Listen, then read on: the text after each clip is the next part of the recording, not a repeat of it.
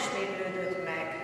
Két ember viszont a táborban maradt, az egyiket Eldárnak, a másikat Medárnak hívták. Rájuk is alászállt a lélek, ők is a vének közé tartoztak, de nem mentek oda sátorhoz. Ők a táborban estek elragadtatásba. Ekkor az egyik szolga elfutott és jelentést tett Mózesnek e szavakkal. Eldár és Medár profitai elragadtatásba estek a táborban. Akkor Józsuá, Nun fia, aki kora ifjúságától kezdve Mózes szolgálatában állt, megszólalt, és ezt mondta, Uram Mózes, tilts meg nekik! Mózes így válaszol, miért féltékenykedsz miattam, bár csak az egész népet profétává tennék az Úr, és kiárasztaná. Ez az Isten igéje. ruhátokat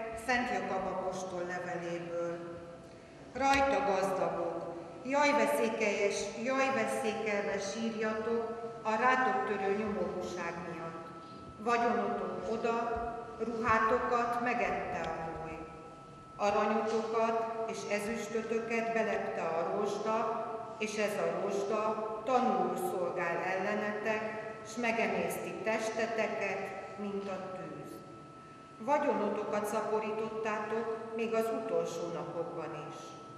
Nos, a bér, amelyet a földeteket learató munkásoktól visszatartottatok, íme felkiált, és az aratók szava felhatolt a seregek urának fülébe. Bőségben éltek a földön, és tobzottok, izlaljátok szíveteket a leülés napjára. Az igazat elítéltétek, megöltétek, s ő nem tanúsított ellenállást. Ez az Isten igéje. Isten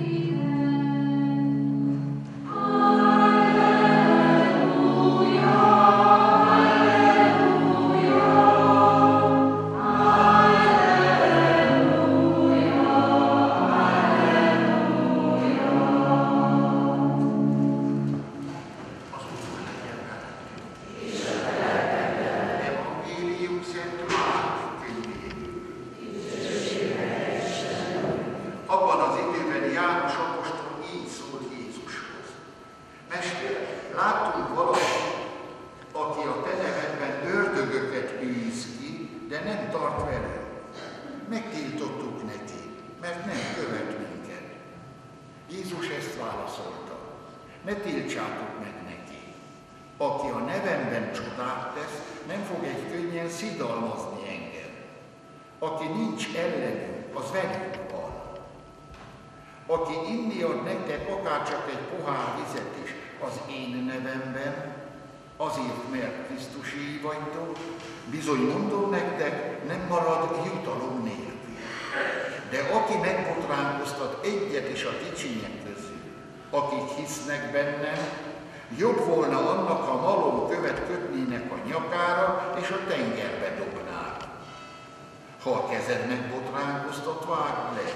Jobb csónkán bemenned az életre, mint két kézzel a kárhozatra jutnod az oldhatatlan tűzre. Ha lábad megbotránkoztat, vágd le. Jobb sántán bemenned az életre, mint két lábbal a kárhozat oldhatatlan tűzére.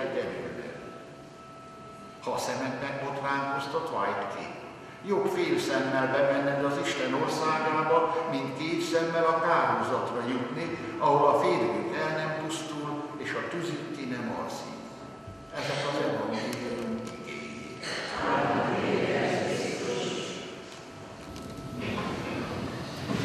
És a testvérek, ahogyan már megszoktuk Jézustól ezen a mai vasárnapon is, meglep bennünket az ő nagyszerűségével és jóságával.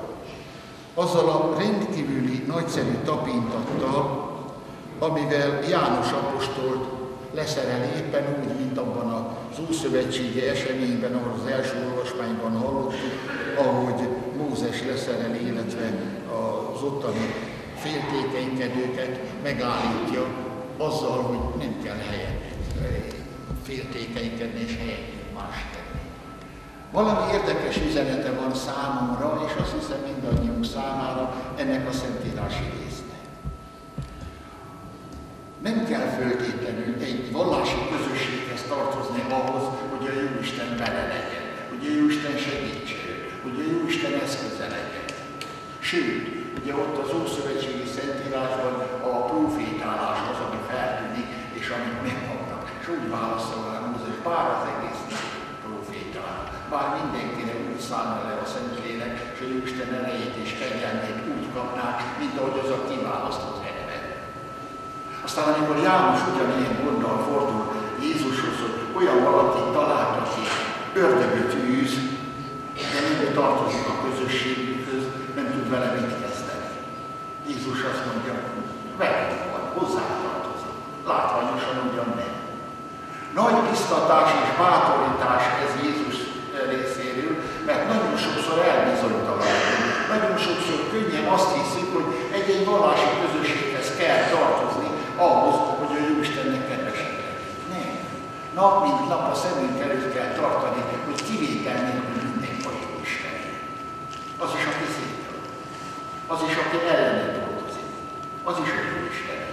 A Jóistennek megvan rá a módja és az alkalom és a lehetősége, hogy ott segítsen, ott változtasson, ott tegyen vele, ha kell csodán, amikor és ahol ő azt. Viszont nagyon érdekes Jézusnak a másik kemény figyelmeztetése, amely a közösségnek, amelyik ott van vele már, amelyik már hozzátartozik, annak a felelősségére hívja fel a figyelmet, nagyon éles és kemény szavakkal. És azokat, amiket itt a, a kézlevágású, láblevágású, szent kiválású szól, az mind arra szól, nagy a felelőssége annak, aki egy hívő közösséghez tartozik, hogy arról tanúságot is tegye. Hogy ő azt valóban komolyan gondolja. És nem csak játék, nem csak úgy immenában, csak úgy félváról. Tudjuk, napjainknak éppen ez a módja. Sőt, egész Európának ez a módja. A hosszú időn keresztül félvárról vett hit, félvárról vett vezet. Nem jóra. Jézus fölhívja erre a figyelmet, hogy ezért viszont felelősek vagyunk. Tessék csak megfigyelni. Előtte azt mondja, hogy nem tőlük fog függni az üdvösség. A Jóisten kezében van mindenkinek a sorsa. De aki tudja ezt, és aki egy kicsit bejebb van ebben a kis közösségben, annak a felelősségét nagyon elvárja. És annak nem lehet csak egy innen álmal menni a dolgot, mondjuk majd hát a másik se figyel oda rá, azt se veszi komolyan, akkor én miért megyek komolyan azokat, amik a Szentírásnak az üzenetei, a szavai, Jézusnak a szavai. Örülök, hogy ezen a mai ünnepen szinte a liturgián bőséggel szinte tobzódik a mondani valóban, hiszen 30-a van Szent Jeromos, a Szentírás fordítónak az emléknapja ez, és ehhez szokott kötődni mindig az, most már évtizedek óta, hogy szeptember utolsó vasárnapja Szentírás vasárnap. Trónra szoktuk emelni ilyenkor mindig a Szentírás, hogy egy kicsit szemünk előtt legyen, és fölfigyeljünk rá, vajon irányítja el minden napjainkat azoknak a Szentírásnak a szavai, és azoknak a mondatoknak, és azoknak az üzeneteknek az értelme, amit onnék már megtanultunk, tudjuk, ismerjük. Éljük el. Aztán ott a másik, ami szintén ehhez a naphoz kötődik, ugye a búcsú napja, Szent Mihálynak a, eset, és maga a története. Döbbenetes ennek a településnek az a, az a ragaszkodás ehhez az arkangyalhoz, amit én itt mióta ezen a plebáni 1330-ban már állt a templom.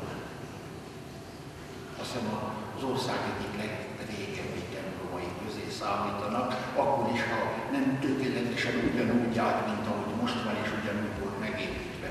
De maga a templom alapja 1330-as pápai tizedi jegyzékben már szerepel. És Szent Mihály szentje.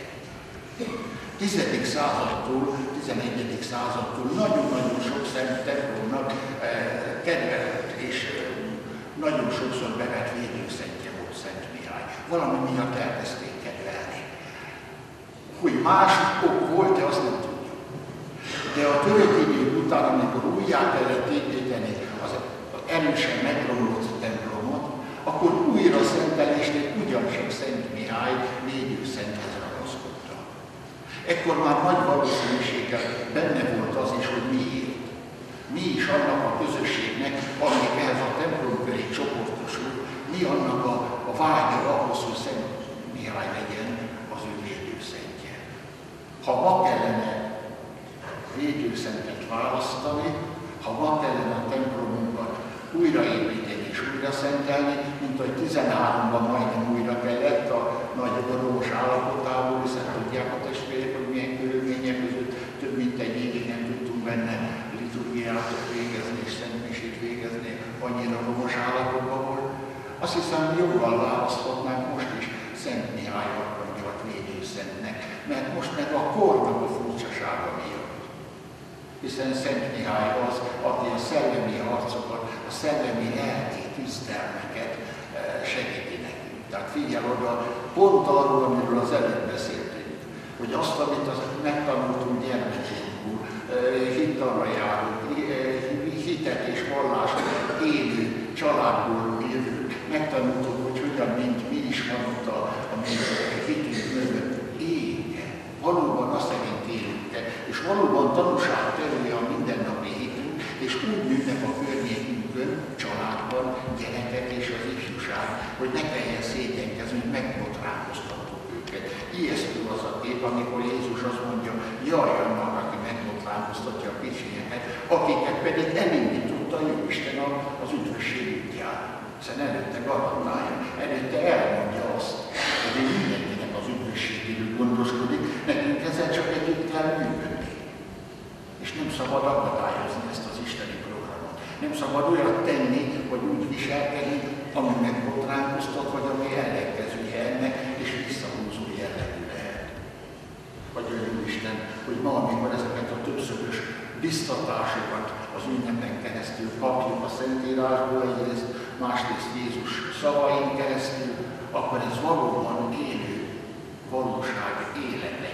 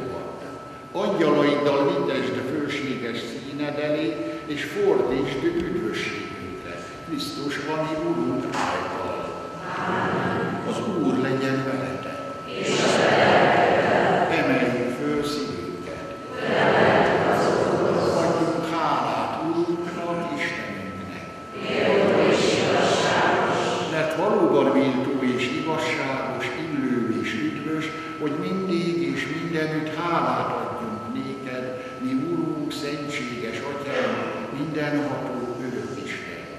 Mi angyalaidban és fő angyalaidban is téged áldunk. A te nagyságodat és dicsőségednek hódolunk, amikor teremtményeidet a hozzád hűséges angyalokat tiszteljük. Bár őket is nagy tisztelet illeti, te végtelenül nagyobb így mindennél fölségesebbnek vallunk téged, Krisztus, ami által. Az angyali seregek ő által mondanak néked áldást, és téged imádva mi is lelkesen hozzájuk társulunk. Velük együtt dicsérünk, és hálás szívvel énekeljük.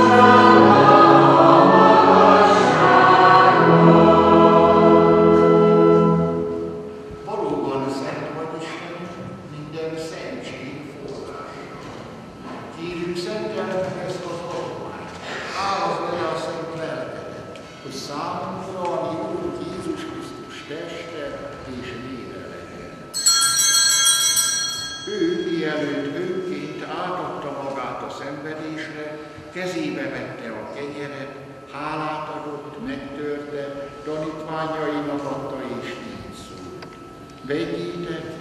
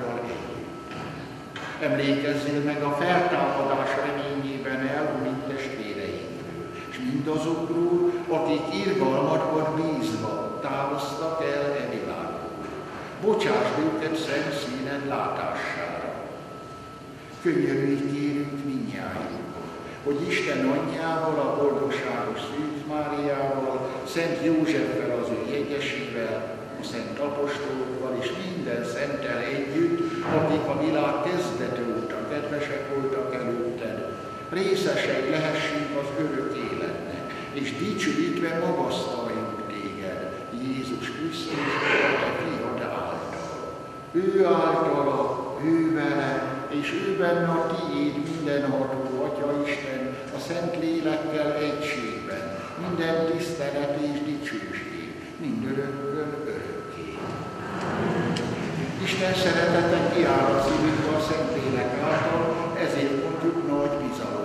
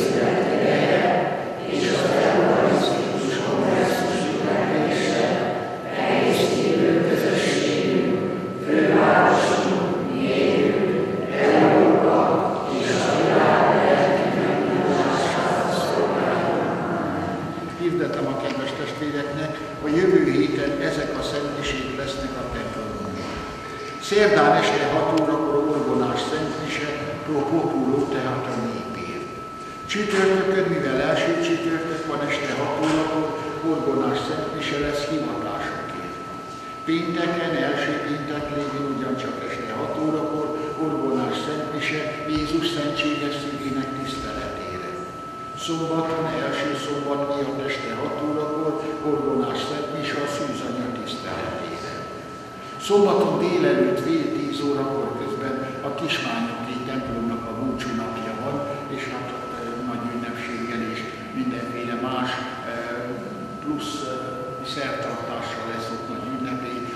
részt vesznek rajta bizonyára, nagy lelki hosszonta lehetnek ott. Tehát szombaton délelőtt fél tíz órakor. Következő vasárnapi szentmiséket a szokás szerint a még birtán protokolló fogjuk mondani. Az Úr legyen vele.